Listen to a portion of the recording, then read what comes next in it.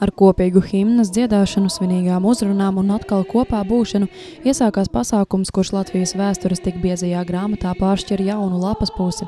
Senā klēts, kas ilgus laikus bija tukša, nu kļuvusi par vienu no Rendes pagastā esošā Nacionālās pretošanās kustības muzeja ēkām.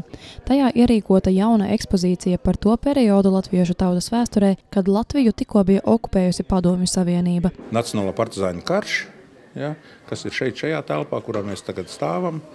Blakus, blakus lielajā telpā ir nevardarbīgā pretošanās visu padomu laiku, ja, gan, gan tādā chronoloģiskā, gan tematiskā aspektā.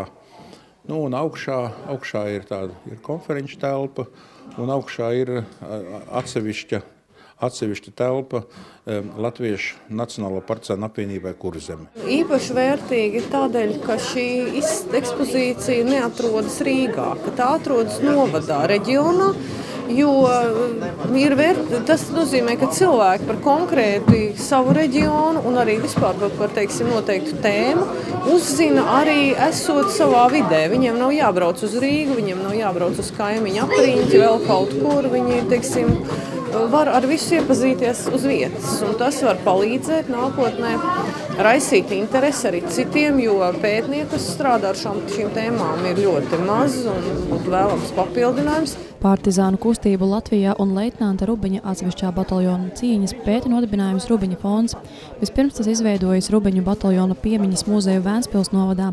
Savukārt Kuldīgas novada Rēndes pagastā Nacionālās pretošanās kustības muzeja pirmā kārta tika atklāta 2014. gadā. Muzeja pirmajā ēkā apskatāmas liecības arī par pirmo padomju, kā arī vācu okupāciju. Savukārt jaunajās telpās centrālā uzmanība ekspozīcijā veltīta Nacionālo partizānu karam. Te ir arī pētījums par Latvijas Nacionālo partizānu apvienību Kurzeme. Es domāju, ka šis ir jaunākais arī teiksim, pētījums arī Kurzemē, kas dod šo ziņu, šo vēsti ja, par šo apvienību.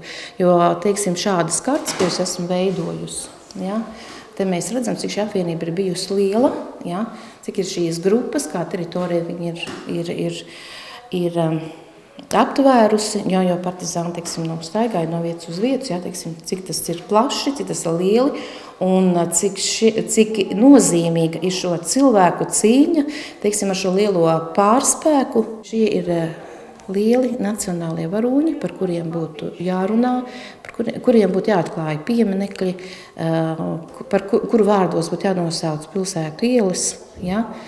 Un es ļoti ceru, ka Kultīgā būs Evalda Pakuļiela. Netālu no šīs vietas Nacionālā pretošanās kustības muzeja rendā 1945. gadā notika viena no lielākajām nacionālo partizānu kaujām, saukta par āpuznieku kauju, kurā Kabilas kaujas grupa vēlējās atgūt zaudēto Latvijas neatkarību.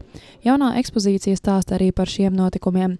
Starp viesiem sastapām arī gados vecāko Nacionālās pretošanās kustības dalībnieku. Viņš atzina, ka šī cīņa vienmēr paliks atmiņā, tomēr arī šodien esot jābūt īpaši modriem. Ziniet, atklāt runājot, Vēl neko nevar pateikt. Vēl jau der ierocis kabatā. Es biju 19. divīzijā. Frontē ir daudz vieglāk karot nekā partizāņi. Frontē ienaidnieks ir vienā vietā. Mēs tikai kā redz, tūlīt šaujam. Bet mežā mēs tur neko neredzam. Nāk briedis, vai ne? Mēs troks nevaram taisīt, vai ne? Latvijas teritorijā Nacionālo partizānu karš ilga 12 gadus.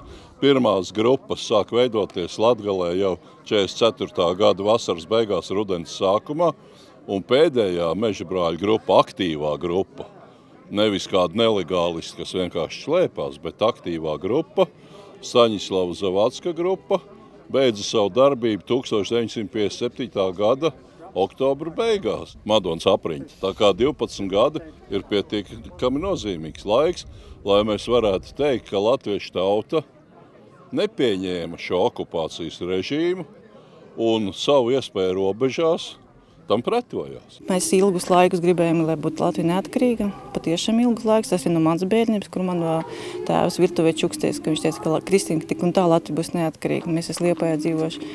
Un, un, un, un, Un man tas šķiet, ka tagad ir brīvāk, ar elpot brīvāk. Man tas šķiet, ka nekā tajā laikā. Jaunās Nacionālā pretošanās kustības muzeja telpas ierīkotas gan ar līderu projekta, gan kuldīgas noda pašvaldības atbalstu. Tomēr vislielākais ieguldījums esot bijis vēstures entuziastu, pētnieku un aktīvo līdzdalībnieku roku darbs un ieguldītais brīvais laiks trīs gadu garumā. Bēba Podniecīvā Peršvits Skrundas televīzija. Kas bija lielākā un būtiskākā?